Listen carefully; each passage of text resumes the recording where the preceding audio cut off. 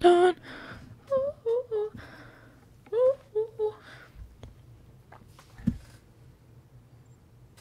Okay, I guess I'm recording. Um, I'm trying to do this thing where I'm like not planning it out too much, not trying to think about it, because otherwise I'll just sit here for like an hour being like, okay, I guess I gotta start now. I guess I gotta get started now. I guess I gotta.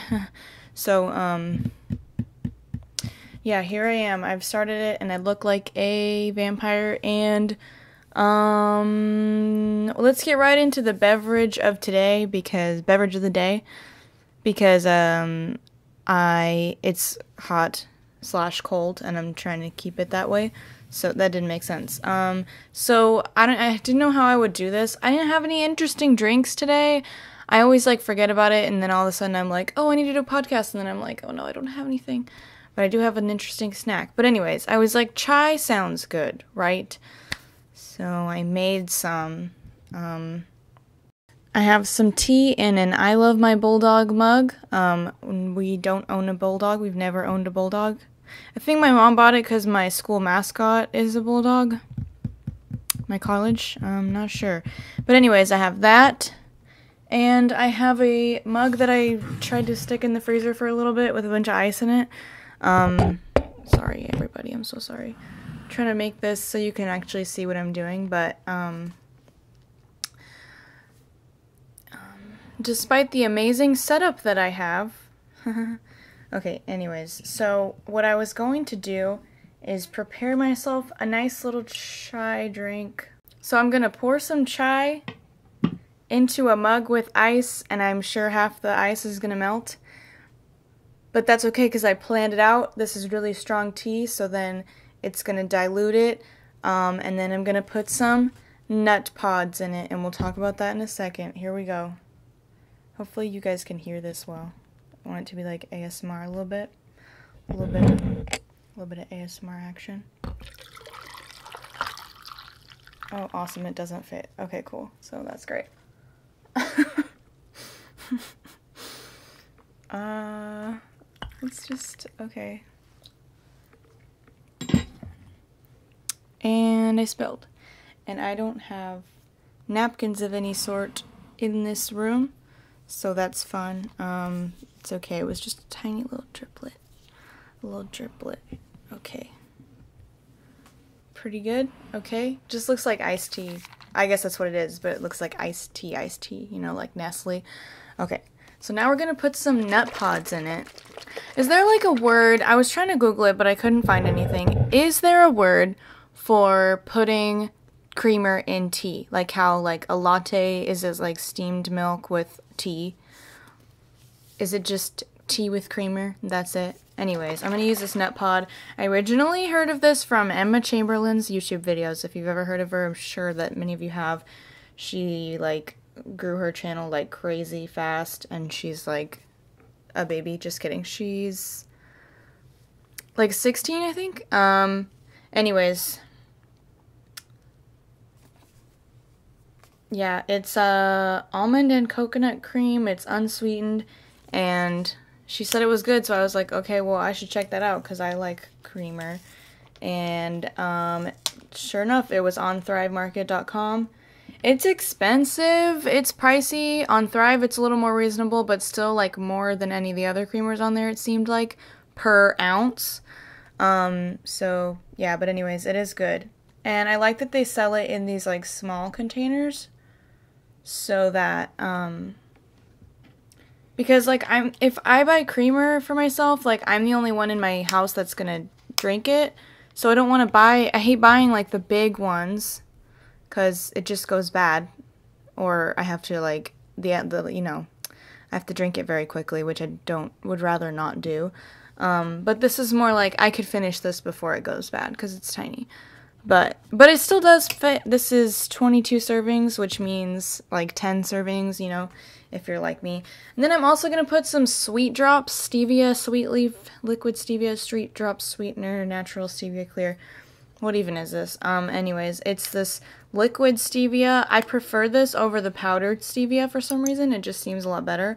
Also, you can buy these in flavors, which seems to dilute the artificial taste of the stevia even more, which is nice. I'm just going to put a little bit more. I also feel like I'm a chemist or something because it's got like a little dropper. Um, but yeah. I also have a straw so I can stir it. Don't worry. If you're listening to this on audio, you're probably like, what's going on? But I'm stirring some creamer into some tea, okay? Iced tea, baby. Yeah! Ooh, haha, yeah.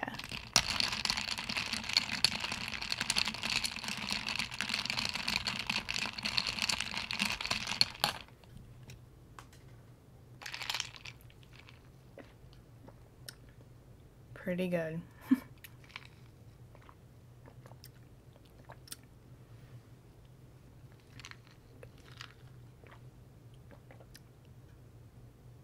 Maybe a little more ice than was necessary, but that's okay. Oh, I have more. I was just thinking it needs just a little bit more chai. Remember earlier I couldn't fit it all in there? There you go. It's all in there now. Well, I guess it's not because I already took some sips, so some of it's in my body. But anyways.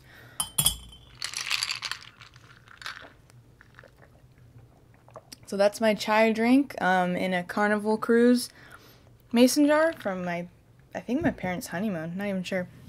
Anyways, um, yeah, it's uh, pretty exciting stuff. Um, anything else I need to talk about about the drink?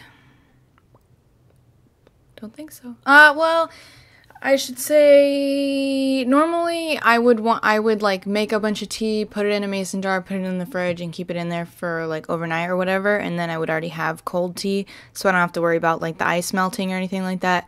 But I just like wanted this right now and I had to have it for the podcast, so um that's why I did it kind of a stupid way, but hey. It all works out in the end, doesn't it? So I'm going to try and do a different thing for this podcast and record my screen. Um because I don't know, that seems like a cool thing to do. Uh cuz then I don't have to like edit in any pictures or anything. You guys can just see exactly what I see as I see it as I'm talking about it. I'm selecting the areas of the screen that I would like to record. Okay, so um, the last time I did one of these, I was supposed to do two in one week so that I would have one prepared for the week that I was going to be in Oregon. Didn't end up doing that. Surprise, surprise. Um, so now I have a bunch of leftover articles that I didn't talk about. Um, so they might be like a little old, like not old, old, but like a couple weeks ago. So a lot of you guys might have already heard this stuff. But I'm sure a lot of you guys also haven't, because like I mean, if you're like me and you don't always keep up with things, um, I'm sure this will be new to a lot of you guys.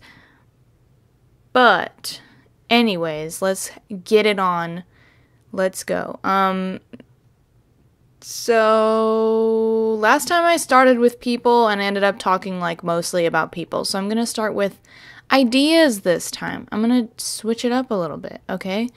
So, starting off, we're going to talk about Oh, this is interesting. I was just talking about this yesterday, two days ago. I was just talking about this two days ago.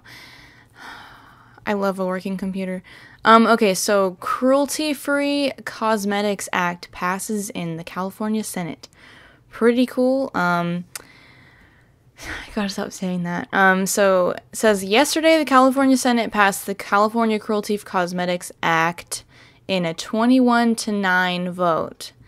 And in case you've never seen numbers before, that's a lot of people for it, which is pretty freaking dope if you know what I mean. Um so yeah, it doesn't mean that like it's happening yet. It's probably not going to be enacted for like a long time to where it's actually like affecting us directly. But um just the fact that they're like talking about it and that like it's being supported by people in the government is pretty cool. Um, And also, even though like a lot of you guys don't live in California, so you're probably like, when is this gonna happen for me? Like, once California does something big like that, it's only a matter of time matter of time before other states will follow suit. Just like with the legalizing marijuana thing, starting with Oregon and or was it Oregon or Colorado or something? I don't know who was first, but you know, the first states, and then now California has legalized marijuana. Da da da da. But um, uh, what was I gonna say? Oh yeah, also, and um, I was just talking about this the other day when I was in the store with um, two of my friends and one of my friend Kristen. Uh, I said something about they're about to do this in California, and she was like saying um, so that means like they're not going to sell any any products that are tested on animals anymore. Like they're just going to stop selling those. And like I don't know, I was thinking about it and it just seems so crazy that they would stop stop selling like huge brands, like the biggest brands in makeup and cosmetics whatever. I don't really know what the exact definition of cosmetics is, but the biggest brands in the cosmetic industry test on animals, like CoverGirl, Maybelline, whatever, you know, and even like hygiene products like Neutrogena and all that stuff, they all test on animals. So it would be crazy if they just stopped selling those companies completely in California. That just seems like so unrealistic.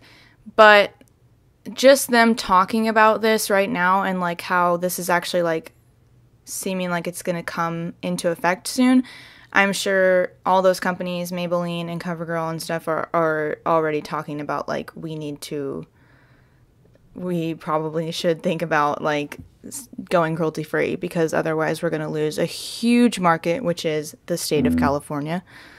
Um, definitely should not have my phone on the counter. Okay, so um, Anyways, just thought this started just thought I'd start the ball rolling. It's really hot in here. I can feel my upper lip beginning to sweat. Um There's a month-long vegan festival called V4 to launch in London.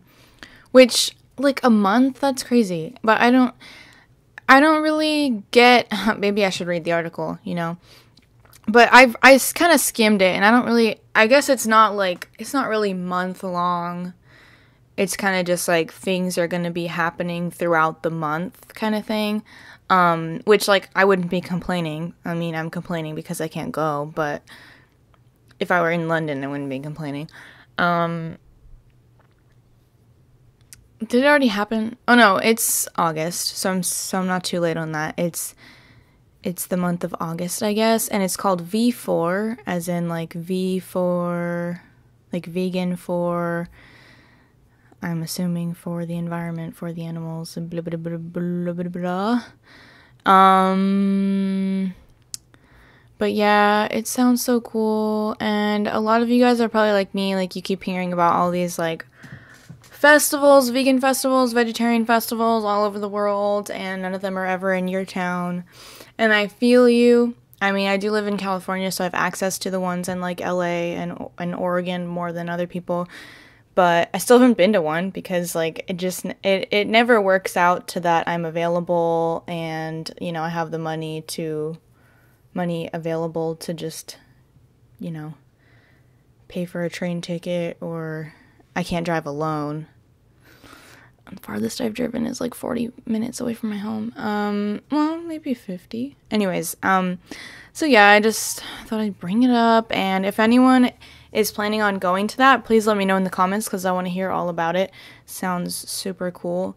Um, I'd love to like, cause I like like most people want to travel to different countries, and um, I think it'd be smart to like plan my travel to when there's a big like vegan festival going on in a different country so that like not only can I travel to the other country but also I can like experience like a fun like festival vegan festival too.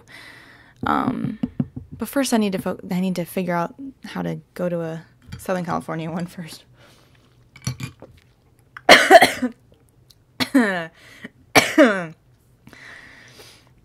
When you don't know how to drink liquid. Okay. Um so oh my god. so Hawaii officially bans sunscreen damaging coral reef and marine life. That I read that stupidly. Hawaii officially bans sunscreens damaging coral reef and marine life. There we go. Okay. So um they're the first state in America to do this.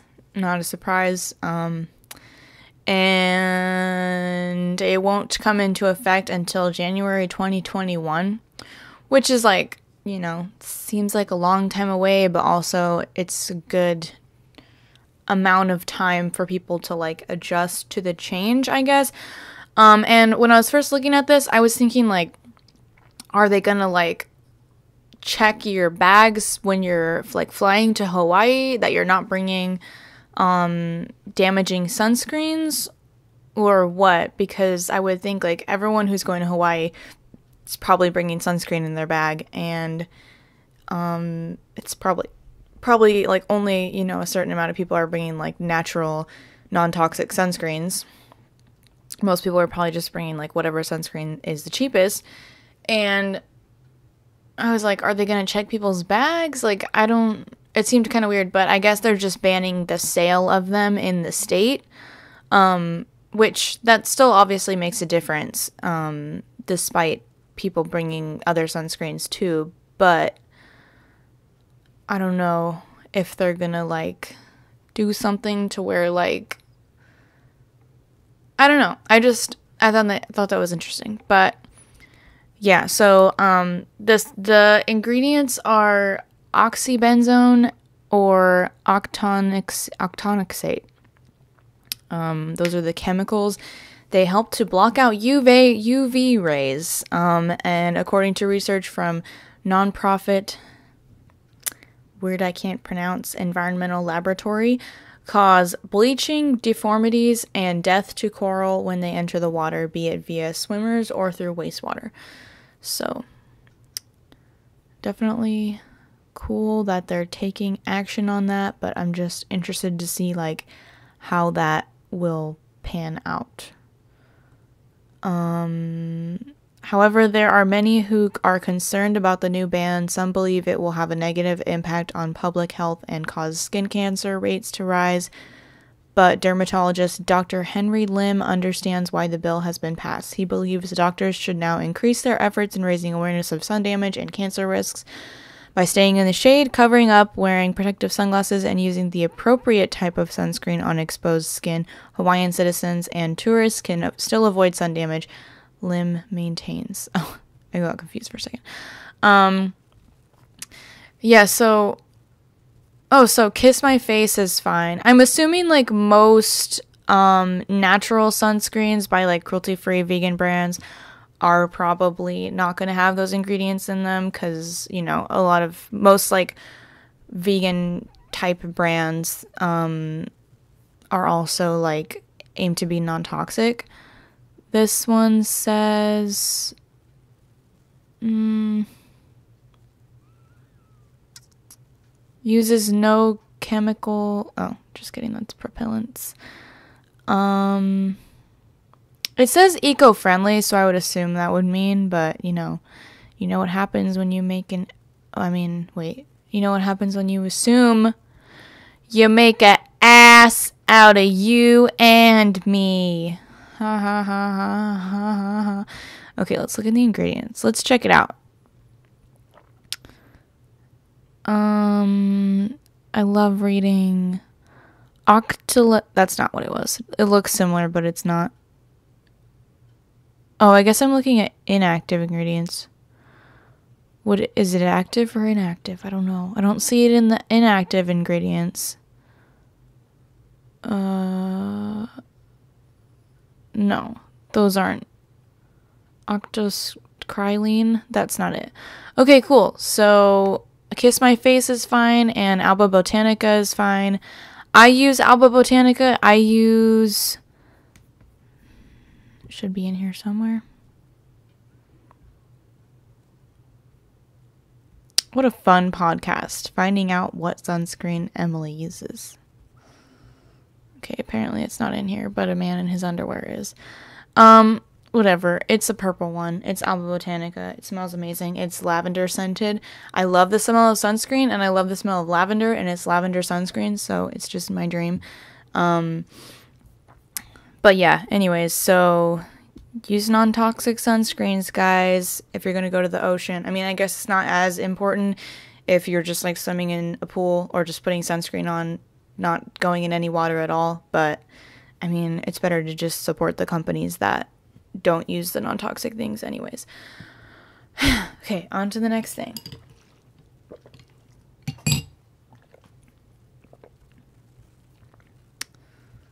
Uh, uh, uh, uh, uh, uh, uh. Okay. Um, no, I'm gonna skip that for now. I don't want to talk about Peter right now. I don't feel like it. Um, so French, but it feels like so long ago that I found these articles. So I'm hoping none of you guys are like, wow, Emily, way to keep up on things. French butchers ask for protection against vegan attacks. Um, intriguing enough title. So apparently, there's this French but there's a French butchery. there's a butcher, butchery. Is that the word? A butcher place, butcher shop in France and um, there's some vegans who have vandalized it, broken windows, and sprayed like fake blood on things. Um, and meat and fish sellers in France are angry at what they see as acts of terrorism. I don't necessarily like the word uh, terrorism being used for this because I don't know. I mean, I guess by definition it is, but it just seems kind of I don't know. Like it's different than like not like vegans getting mad at like um meat sellers is different than like a white man getting mad at a man for being Muslim or something like that, you know? So that's why, like, I, cause, like, at least the vegans, like, I don't agree with what they're doing. Like, I think what they're doing is horrible and unnecessary. But, like, at least they have, like, like a reason to be mad. I don't know. I mean, I'm not on either one's side. More the more the butcher pe- butcher shop side than the vandalizers, but um, I just I don't know. I think a terrorism word isn't maybe the best word there, but um, but anyways, enough about that. Uh, I it's so like I this annoys me so much because it just seems so like counterproductive. Like it's just these people's jobs. Like I don't. It's so annoying to me and this is like another thing that I want to talk about if I ever do like a um, everything wrong with vegans type video. But like it's so annoying to me when vegan activists or whatever they call, that's what they would call them. Okay, I don't want to shade anybody, but like when vegan activists like do uh, like are mean to workers in like a meat shop or in a restaurant that sells meat or anything like that. Like they're not the people to get mad at. It's just like when like you hear all these like retail stories of like a customer getting mad at um an employee for like um something that the store is selling or whatever. And it's like it's like why would you take it out on them? Like it's not they're not the ones who are like making these decisions. They're just trying to do their job and like make a living. Like it not only is it just like rude and it doesn't look good on your part, but also like it doesn't do anything for whatever you're mad about. Like it literally doesn't make a difference because they can't do anything. So it's just annoying because like while I don't agree with like what their what these people's jobs are, obviously, like I'd rather them have other jobs, obviously, but like they're just jobs. Like these people aren't like huge like I don't know. It, it's just such a waste of time. Like these if you're trying to like promote veganism, this is not a way that's to do that. Like if anything, it's going to make people not want to be part of your movement or whatever because they see you as crazy or disrespectful or violent or whatever. And it's like, especially when like veganism, the whole point of veganism is like non-violence towards animals, and then you're like being violent towards um other people. I don't know. Like it's just annoying. Anyways, um enough talking about that. Let's talk about there's this article on Yahoo Lifestyle that was titled What to Do When Your Kid Decides to Be a Vegan. It came up when I searched vegan on like Google News or whatever.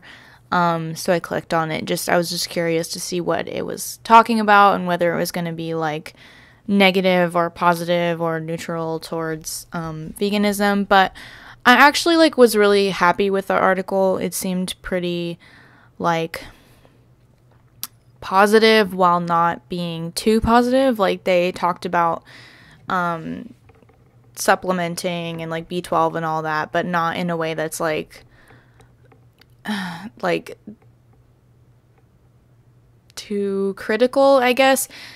Um, it starts out talking about like this one lady where her 10 year old daughter um, was saying like she doesn't believe it's okay anymore to use animal products um, and she's not going to be eating, wearing, or using anything made by anim- made from animals or produced by animals. Um, and the mom was basically like, okay, like I want her to be able to like live her life and like make these decisions and stuff, and like I respect this, but like this is like a huge thing, and um, she said, to be honest, it's too inconvenient and expensive for me to make happen for her right now. And like I, f- I totally like understand that. I get kind of annoyed with like um I don't know, like it can be hard when you want to do something and your parents like when if you want to be vegan and your parents aren't letting you, like I understand that that's hard and that's frustrating, but I don't know. Like I I try to remind people when they give me those type of messages, when they send me those type of questions or messages that like you have to understand that like eh, it's it's going to be harder for your parent. No matter how easy you think that veganism is or can be, it's harder for your parent because not necessarily because veganism is hard, but because like then it's a whole new meal plan for one kid versus feeding all your kids the same thing. And it says something like that in here. It says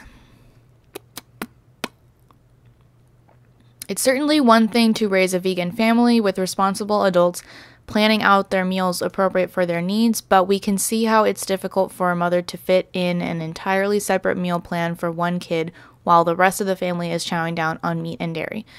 And that's a really good point. Like, it doesn't even have anything to do with like veganism being hard or veganism being easy, whatever. It's just it's hard to give one one kid special treatment while the other kids are not getting that. Um, it's just complicated. But I think like the way to I try to tell people like don't like make it as easy on your parents as you possibly can. Like if if there's if do all that you can do and then just ask for the least bit of like assistance from them. And hopefully you'll find some sort of balance. I don't know. But I think the best way is just like easing into it, like not telling your parents like, "Hey, I'm vegan now, like I have to change everything and like you know, I'm not eating what you cook anymore." But like slowly getting your parents used to you eating differently and also maybe like over time your the rest of your family will like maybe not go vegan but like adopt certain things that you're eating um and like products that you buy or whatever. And then you find a balance. I don't know. Like and it also depends on what age you are when you're going vegan. Like when I went vegan, I was really young, but I was already in high school. So that's a little different than like this is a 10 year old. That's like crazy. That's could be still in elementary school, like a fifth grader. That's insane. Like, I would have definitely had a hard time with that if I tried to do that. But, anyways, back to the article. It says, like, it literally one of the, like, um, paragraph starts out with saying a vegan diet is traditionally a healthier diet. Um, a quote from an MD pediatrician at Mercy Family Family Care Physicians in Baltimore. Um, a child would likely have a lower risk of high blood pressure, high cholesterol, diabetes, and cancer. A vegan diet also exposes the child to and to the natural remedies offered by many plant-based foods. Um, but they also say at the same time, some vegans run the risk of missing out on essential nutrients. Blah blah blah. Then they talk about protein, vitamin B12, calcium, vitamin D, amino acids, iron, and omega 3 fatty acids. Um, and they say what many of you guys have probably heard before well designed vegetarian diets that may include fortified foods, blah, blah, blah, blah. They always say like well planned or like well designed. And I feel like that is kind of like misleading because it makes it seem like you really have to be like a type A personality and like you have to be able to really plan out your diet.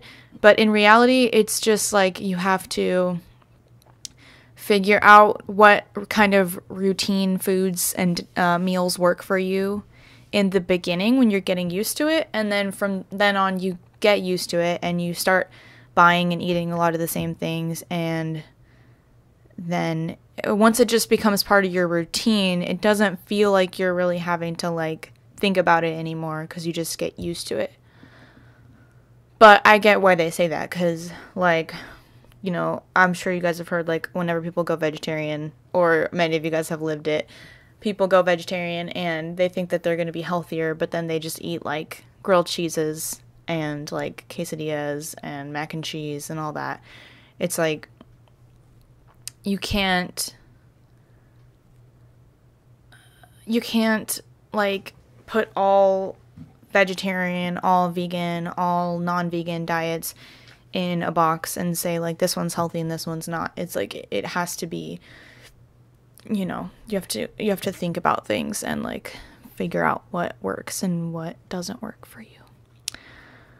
But yeah, anyways, they talk about um, different things. They actually, I thought it was good that I've seen a lot of like articles or whatever or interviews with like a nutritionist or something where they say like, um, yes, veganism can be healthy, like, um, but it has to be like a well designed diet or whatever. Like, you have to get certain nutrients or whatever. But they don't actually say like where specifically you can get those nutrients. So then I'm like, okay, that doesn't really do anything. But this article actually says like um, calcium and vitamin D are becoming easier to obtain because most dairy alternatives are fortified with them. Typical breakfast cereals like Cheerios are fortified with B12 and iron. Um, and then also says another favorite B source of B12 for vegans is nutritional yeast. Blah blah blah. They talk about it um, including it into your diet regularly, and like essential amino acids, rice and beans is an example, or a peanut butter sandwich. Um, any combination of grain and legume. And yeah, it's pretty cool. Um, I just thought it was interesting. And now let's go on to. Actually, let's see how far I am into this. 39 minutes. Seems like a good time to me to eat a snack. And take one more sip of this. Um okay. So today the snack I have to show you or talk to you about if you're listening to this on audio um these snacks called uh, the brand Drizzilicious pretty cool. Um, I bought these both at TJ Maxx. That was probably a horrible sound, and I apologize.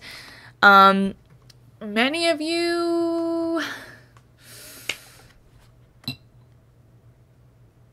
I don't know if any of those stores are like international. Probably not. They seem like a very American thing, but like, um, at least where I live, we have all these stores by the names of um, TJ Maxx, Marshalls, Ross. There's tons of them. um, all over, and they're basically just like, uh, what is it called? I don't know what they're. Let me just use the computer that is right in front of me. TJ Maxx. I think TJ Maxx is like the head of all of them. Ooh, I can't spell. Um, but basically, there's all these stores that sell. Um, let's see. Let's just stop talking. It's an American department store chain selling at prices generally lower than other major similar stores. It has more than 1,000 stores in the United States and Puerto Rico, making it one of the largest clothing retailers in the United States. And they. Okay, let's see.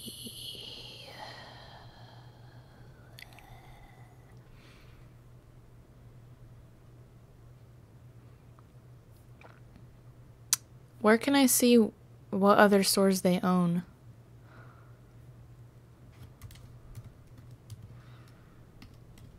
Okay, so awesome. It doesn't say. But as far as I can see, um, TJ Maxx, Ross, Marshalls, even like Home Goods, although that doesn't sell the same, it sell home stuff, obviously. Um, they all have like a lot of, they all have similar layouts and similar like, they're just similar stores and I'm guess I'm from what I can see seems like they're all like part of the same like company like under TJ Maxx. Um and they're mostly clothes. They have some home stuff and some like kitchen stuff, like type stuff like that, but um mostly just clothes department stores. They resell stuff from other um, companies at cheaper values. But in the front of the store, sometimes at other parts of the store, but in the like checkout line, they always have all these different like snacks and candies and drinks and stuff like that. And it's interesting because um, for the longest time I never like paid attention to them. Um, and actually at Home Goods, it's not in the it's not just in the checkout line. There's like a whole like food area near the kitchen area, and it seems to be getting bigger every time I go there. But um but yeah, at the at the clothing ones, which is Marshalls, Ross, and TJ Maxx, in the checkout area, there's all these snacks. And um, just a few years ago, I was at one of those stores and I realized that they actually have a lot of good like vegan snacks, like vegan, cruelty free, cruelty free, gluten free. I said cruelty free with a G because I was trying to say gluten free. Anyways, um, like healthier snacks, natural snacks, organic, whatever that's where I initially found the um, sriracha veggie straws was at a Home Goods. Home Goods even has like lots of um, vegan protein powders and like you can buy chia seeds and flax seeds there. So if you live in an area that doesn't have any health food stores, but you have a TJ Maxx or Marshalls, Ross, or Home Goods, there's probably another one uh, that's similar. Um, I'm sure. Maybe I'm wrong. Maybe none of them are even like connected, but it seems like they are. Um, definitely check those out and see if there's. I mean, maybe it's because I live in California that the California TJ Maxxes carry more like health foods, but um, I'd be interested to find out if yours are the same. Um, but anyways, they also have a lot of things that are like you wouldn't expect them to be vegan. So like we were there um, a couple weeks ago, and there were these like bags of cookies, um, like snack cookies, and there was chocolate chip and snickerdoodle, and they didn't look like vegan cookies at all. Like they didn't say vegan really big anywhere, but then, um, I think I was just like looking, and I was like, I'm just gonna like I feel like I should check just in case if those are vegan, just in case, because like you never know. And then before I even grabbed it, Casey grabbed it and saw that they said vegan on them really small. And so we bought some and they were actually really good. They were gluten free snickerdoodle cookies. Kind of wish I bought the, the chocolate chip ones too. But, anyways, it's like interesting to go to like a clothing store and then you just find like vegan cookies in the checkout aisle. Um, but, anyways, they have these Drizzilicious snacks at TJ Maxx. And nowhere on them do they say that they're vegan. They just say They have a gluten free and non GMO symbol, but nowhere on them do they say that they're vegan. So um, I was a little bit sketch sketchy feeling suspicious because um, because I was like, if they're vegan, like why wouldn't they just say somewhere on them? They're already like proud of being gluten free and non GMO. You'd think like right by that they'd put vegan or plant based or something. But in the ingredients there is like it says natural flavors, so I was like maybe like the natural flavor isn't vegan, so I was kind of like, mm. but then I looked at and maybe none of you guys care about this at all, but um, I don't know, like in case you're curious too, I went on their website and even then it says vegetarian. It doesn't say vegan. And so I was like, oh, did I buy something that wasn't vegan and posted it on my Clovis vegan account on Instagram?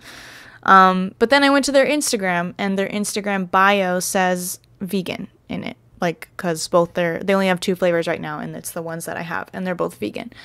Um, and I think they're kind of like a smaller company, like starting out, because first of all, they only have two flavors, and also um, they have less than 4,000 followers on Instagram. So check them out, follow them on Instagram. I'm following them. Hecka cool. Um, but yeah, I initially heard of these from my friend Jackie. Um, she bought some for my friend Casey in her like Secret Santa box that we were giving each other all these different like snacks and goodies and stuff and we were all like like what? Those are vegan and like shook. Because they're hella good. Sorry. But um yeah it just says crunchy drizzle bits. Wait crunchy drizzle bites with rice chia quinoa and flax. Um this one is cinnamon swirl and this one is s'mores. They're like low calorie, 90 calories per serving, and there's five and a half servings in a box, in a bag, whatever. But they're basically like these little,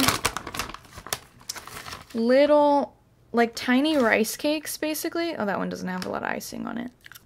I want to show one that has a lot of icing. Mmm.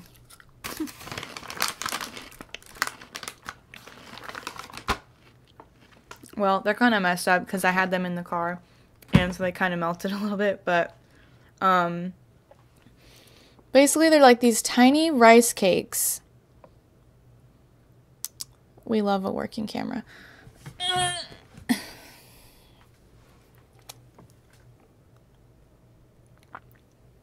Focus, focus, focus, focus, focus.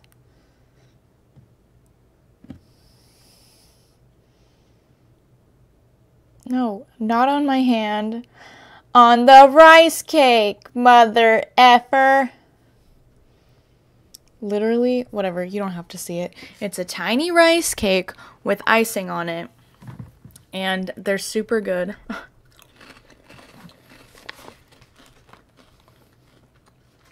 I mean, it's not a rice cake because it's got like chia, quinoa, and flax on it, but um, they're like tiny rice cakes, a little softer though than rice cakes um, like puffier. And this one is like a white chocolate drizzle. So yeah, like who would have thought I would have got rice? I mean, wait. Little crisp things with white chocolate icing on them that was vegan in a TJ Maxx. But anyways, um, these are my new favorite thing. I love them so much. I've talked about them for quite a long time now. I apologize. But also, I don't apologize. You know what I mean? I think I like the s'mores ones better than the cinnamon swirl ones just because I love s'mores. But, um, they have a chocolate drizzle on them. I'm not even to bother focusing because uh, fuck you, camera. But, um,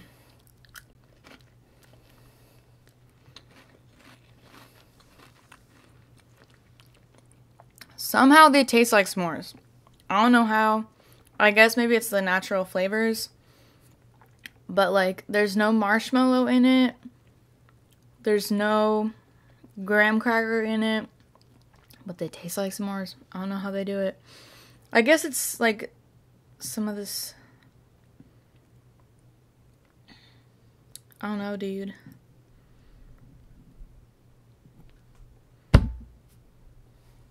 I don't know, dude. Somehow they do it. They're magicians over there at Drizzilicious. Oh, oh fuck yeah! Um, comment below what vine you think that's from and what he says that in reaction to.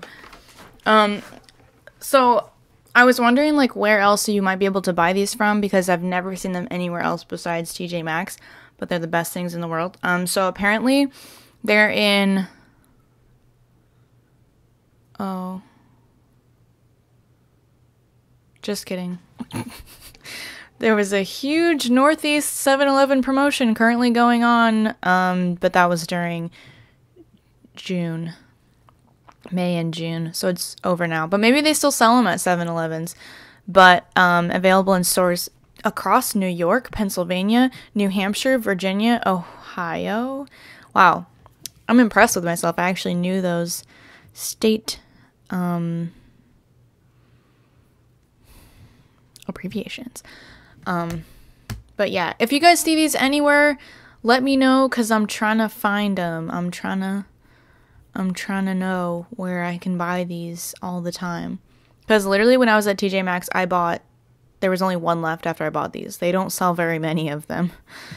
Um, but also it's kind of upsetting because like it's not really something you can buy online because they would be like a mess when you they get to you in the summer. Um, at least if you live somewhere like I do where it's hot AF. But also they're coming out with a new flavor. They just posted this yesterday. Um, and they haven't said yet. It's going to be a giveaway. So if you can guess what the flavor is, it ends Thursday.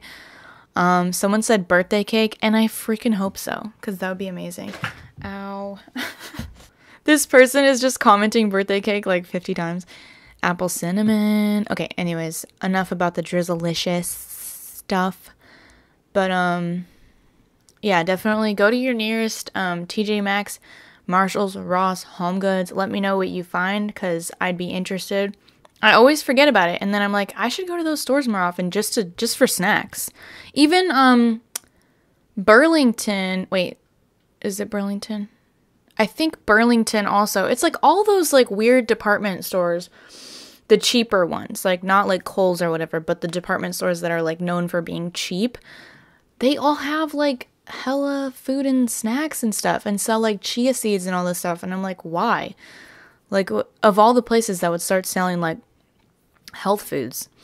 Also,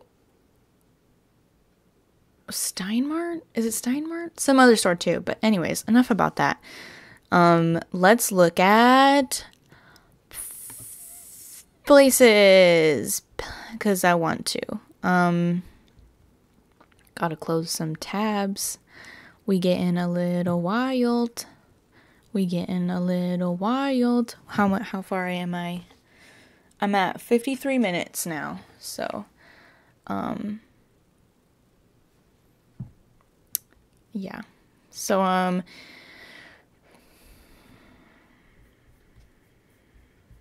So if you want to be really jealous of somebody else, um, and be sad that your pl- your town that you live in doesn't have enough vegan stuff, um, check out the vegan garden that just opened in June in Budapest. Something that I can't pronounce. Garden, um, a permanent summer home for plant-based focused street food trucks. The garden is the first of its kind in Hungary's capital. Tourism website We Love Budapest reports that food options in the garden include dairy free ice cream, heart shaped pizza, Mexican chili don carne, seitan kebabs, chickpea burgers, brownies, and more. And yeah. Why can't we have something like this in Fresno? We need this. We need stuff. We need to be cool. Come on. Anyways, um, ew. There's a food truck in Texas called Lick It Up. Why? Anyways, um, so yeah, just look at it. My computer's not loading, but I'll link stuff below. And you guys can. Oh, I guess I can just click this. I think. Oh, I didn't follow their account. I'm going to, though Cause like what what what I'm jealous. So cool. Can you just imagine? Can you just imagine a vegan like a whole area where there's like vegan food and vegan shops and vegan restaurants all in one place? I'd make hella friends. I'd maybe even get recognized. What? That looks so fun. Dude. Someday I gotta go. Anyways, that's enough of that. Making myself sad. Look at that. What?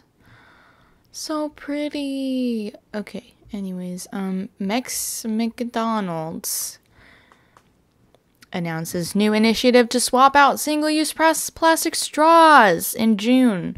Um, that's pretty cool. Wish they would work on anything else about their store also, but um, we appreciate small steps in this house, don't we, guys? We do. We do. I answered for you. We do. Uh, and now that I'm looking at this, I notice that they mention they they did a little throwback to um, Final Straw, which I think I talked about in the first um, vegan propaganda podcast. It's the straw, reusable straw that you can buy that comes in a little container, and I have low battery on my camera. Um, one second. See, that's the biggest reason why I need to work on like making my podcasts like more closer to an hour is because my freaking camera always runs out of battery. But also, I'm only at 58 minutes, so uh, I don't know what to do. If anyone has a recommendation for me for what I can do so that my camera doesn't run out of battery, I don't know. Is there something? Can I buy like a different battery for my Canon camera? that will last longer or like I don't know. Anyways, um so it's gone down in price since then. That's pretty cool. Was $30, now it's $20, but unfortunately you can still only pre-order it. I was hoping to click on this and then find out that it's ready now. But apparently not. But anyways, it's a reusable straw that folds into a it collapses into a sexy case. Can they stop? Like that's just a little bit cringy, but um, anyways, it collapses into a small case that functions as a keychain. So it's easy to take around with you. It also comes with a cleaning squeegee and um, five Final Straw ambassador cards. I remember hearing about that, but I don't remember what that was. But I think it's like um, something you can leave it places so that it lets companies know like to start using um to stop giving straws or like only give straws by request or something like that. Um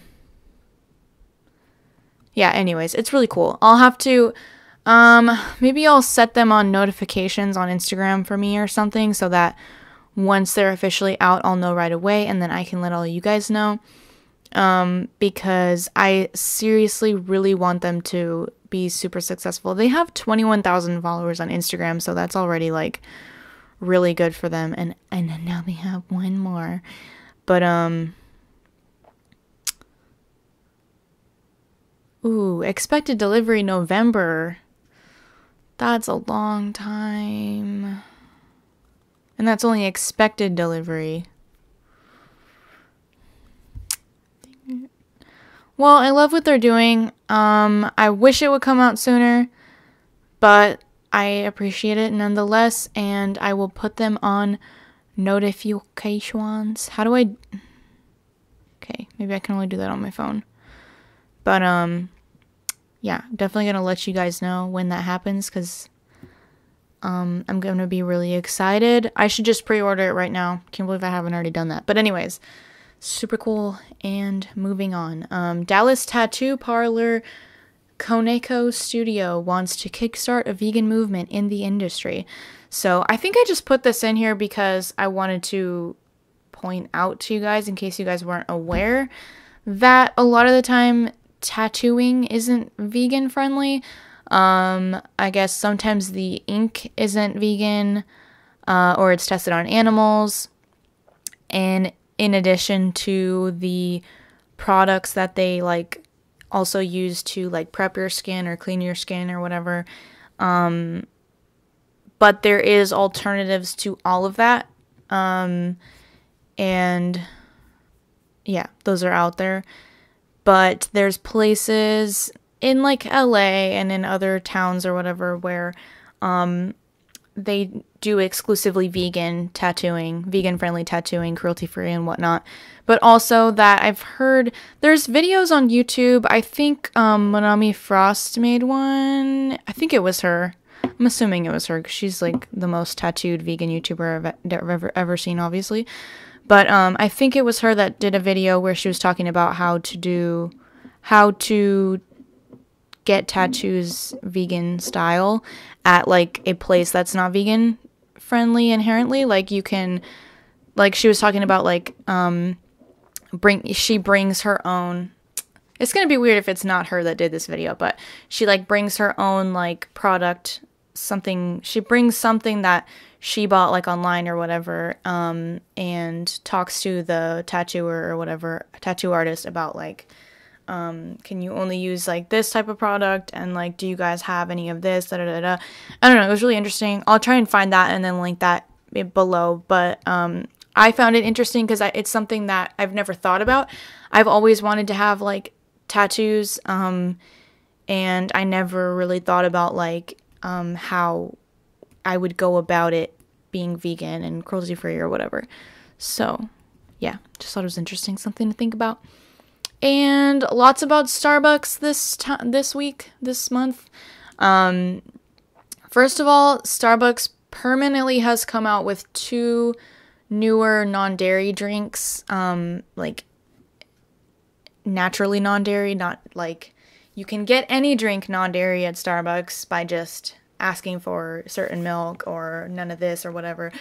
But um, they recently came out with this vanilla bean coconut milk latte as well as the hazelnut mocha macchiato, um, which I believe is also vegan without ordering any. Let's just check myself before I wreck myself.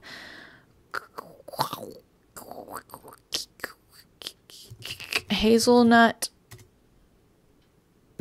mocha coconut milk macchiato. That's a mouthful. Um, so checking these ingredients.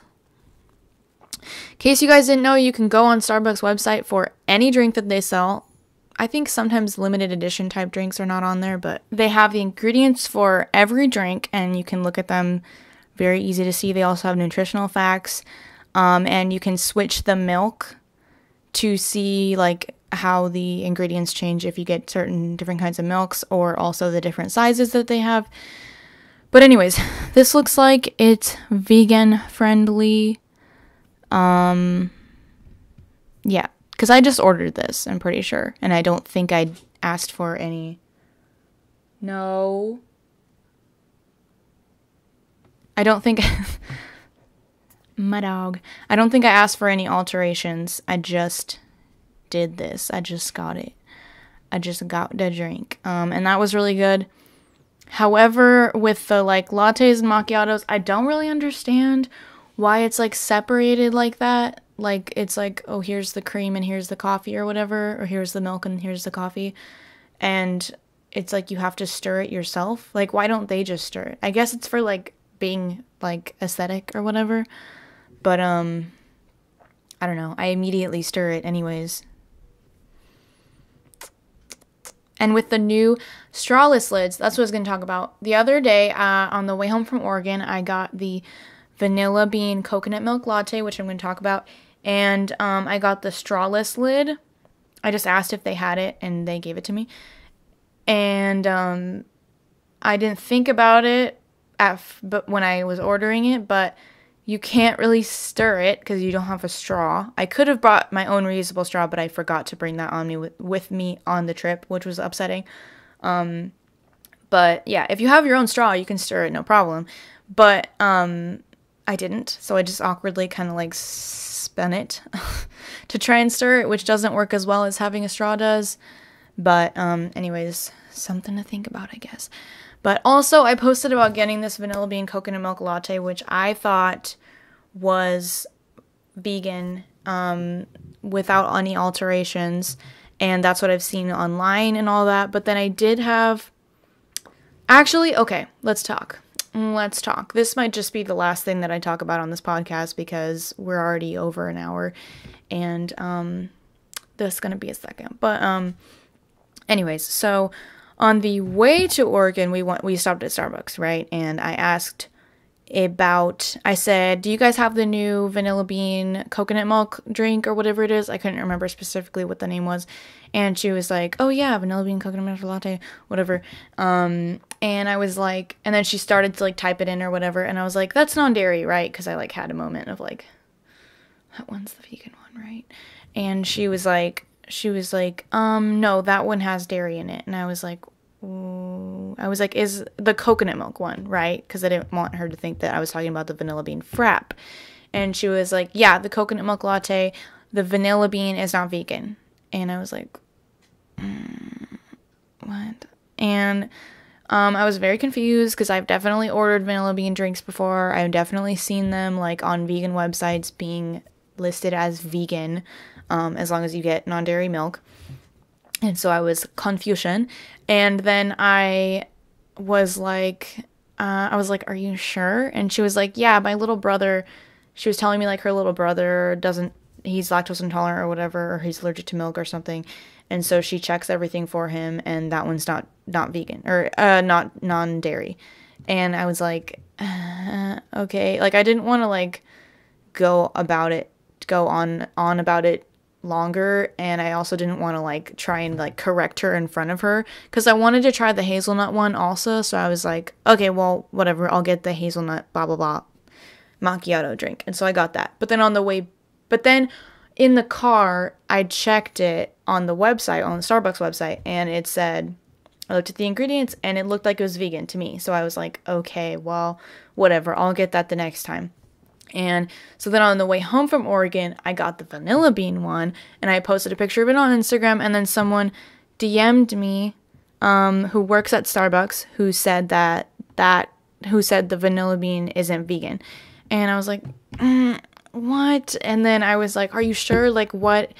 Like what in it isn't vegan or whatever? And then she was telling me that in the natural flavors, there's milk powder or something like that and um, she showed she sent me a picture of the ingredients. And when you go through all this work trying to explain things when you can just access them on your phone instead. Um so let me find this message I don't know where this message is. By the way, all my DMs are about toilet paper now, so that's pretty fun. Um, if you don't follow me on Instagram, you probably don't know what I'm talking about. Shit. Ugh. Not having an easy time finding this message.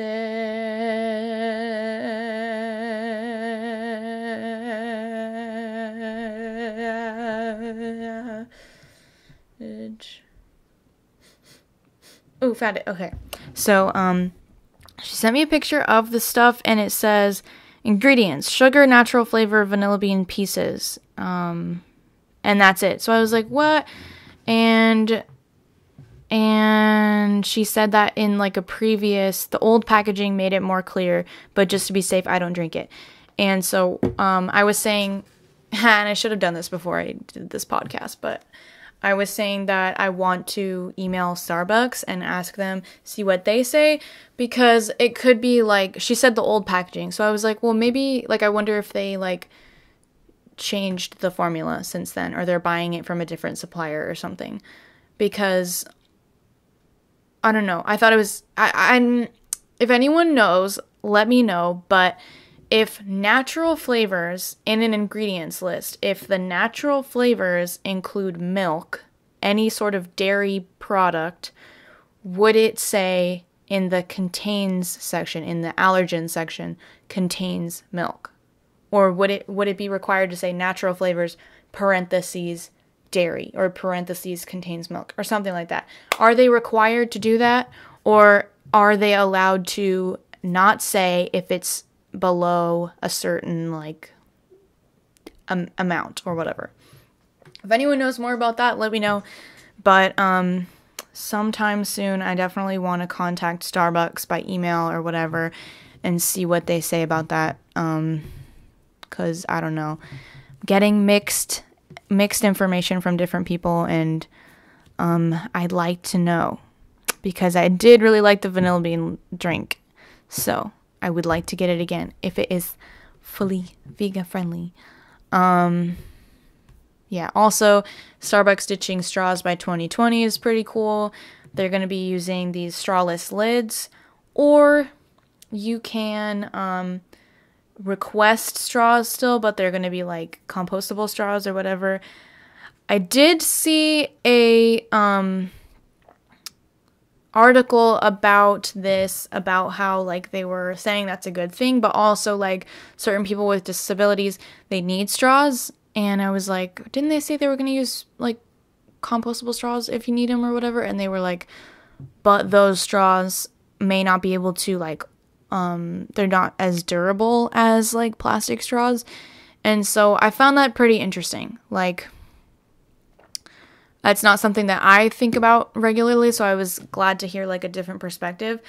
Um because it's true like i've had like paper straws before or whatever and they definitely don't hold up as well as plastic straws so if you need a straw to be able to drink properly um, then a paper straw might not actually work that well but i've also had like straws made from like cornstarch or whatever where they feel the same as like a plastic straw so i'm hoping that starbucks will maybe also have those at hand. I don't know. But seriously, I've had like cornstarch straws that I thought were plastic straws until someone said that they were cornstarch because they're that similar. So, I don't know. Something to think about. But also, I always forget that you can bring your own drink to Starbucks. You can bring your own tumbler or whatever. Or I think you can also just bring like a bottle, like a hydro flask or whatever. And they can fill those up. Um, but you know it's hard sometimes it's hard to remember that especially like if you're on the road for like a road trip or something you don't always just have like an empty and clean tumbler on hand to use um, but yeah that's something to think about also and yeah they're also they introduced these vegan protein cold brews um have not had those yet, but um, let's see. Booby doop boop ba boop. I've been hearing a lot about Starbucks being pro vegan lately, coming out with new vegan stuff. I'm sure you guys, oh, I'm sure you guys heard about it. I talked about it in my last podcast. But um, in the UK, I think somewhere that's not America, um, Starbucks are selling a bunch of different vegan like food options. They have like a vegan cake, raspberry chocolate cake or something. There's like a couple wraps and then something else. Um, and in American Starbucks, they sell these like white cheddar Cheetos things that are vegan by the brand Hip Peas. Um, and they're coming out with these. Uh, seems like every once in a while they come out with a new drink that's like permanently non dairy milk um, instead of just every drink comes with milk automatically and then you have to ask for coconut milk or whatever. They're coming out with drinks like the coconut milk latte, the coconut milk macchiato, or whatever that are naturally already non dairy. So, but they're also saying this article says more Starbucks vegan options are coming. CEO Kevin Johnson says the global coffee chain will be leaning into creating more plant based beverage options as consumers continue to seek out vegan food and drinks. So um, they have these plant based cold brew protein drinks this summer, along with lower sugar and lower calorie drink items. Blah, blah, blah, blah, blah.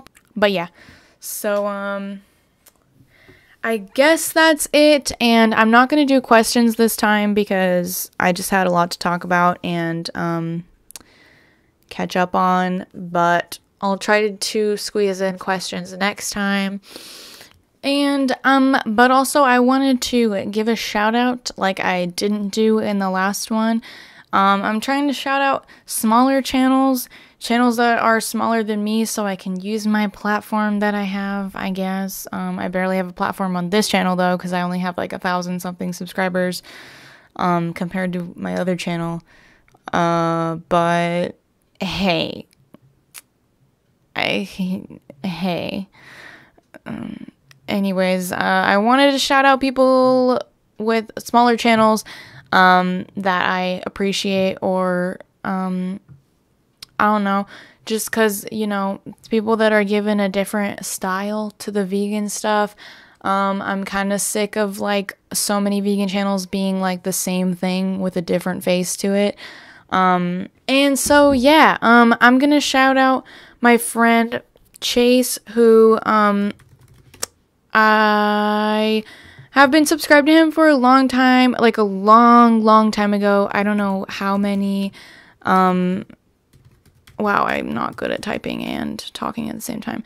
Um, a long, long time ago, he messaged me and sent me his um, ebook so that I could have it for free. And that was really nice. That's like the first time anyone ever um, anyone ever like sent me something for free, um, something that they made or whatever. Not that that happens a lot, but like that was the first time someone offered to send me something. And I was like, what? Like, that's so cool. That's a nice thanks. Um, but, anyways,